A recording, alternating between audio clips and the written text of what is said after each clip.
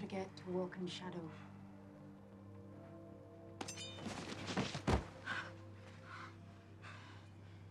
Did you forget your balance?